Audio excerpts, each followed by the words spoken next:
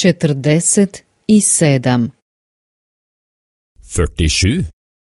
Pripreme za put. Reiseforberedelser. Moraš spakirati naš kovčeg. Du må pakke kofferten vår. Ne smiješ ništa zaboraviti. Du må ikke glemme noe. Trebaš veliki kofer. Du trenger en stor koffert. Ne zaboravi putovnicu. Ikke glem passet. Ne zaboravi avionsku kartu.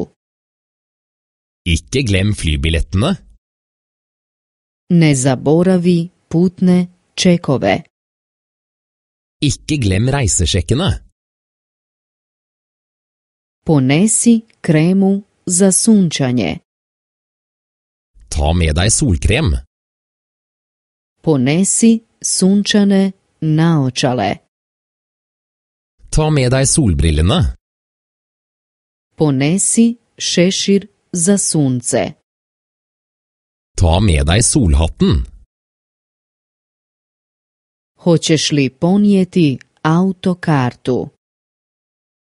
Vil du ta med deg bykart? Hoćeš li ponijeti turistički vodič?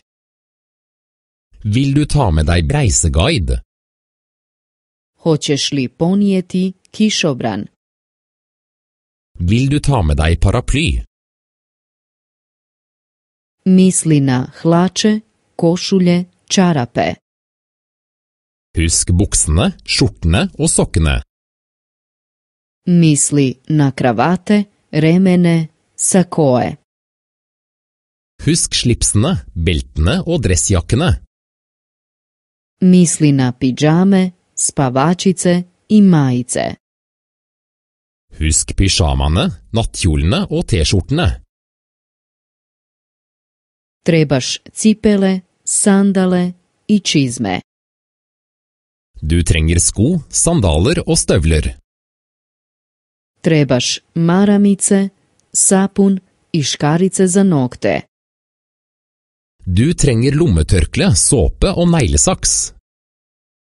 Trebaš češalj, četkicu za zube i pastu za zube. Du trenger en kam, en tannbørste og tannkrem.